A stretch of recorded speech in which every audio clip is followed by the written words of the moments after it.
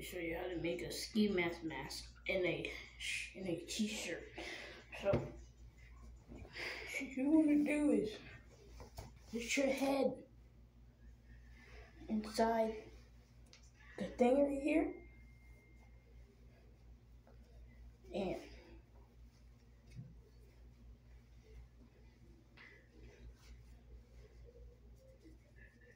after you're done, you need to tie it up.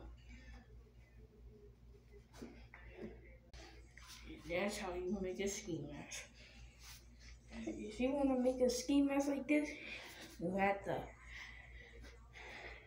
you have to subscribe my YouTube channel. My YouTube channel is Piggy Book 2 BJ Brown, PJ Funk 117. If you want to make this ski mask, get me a lot of subscribers in a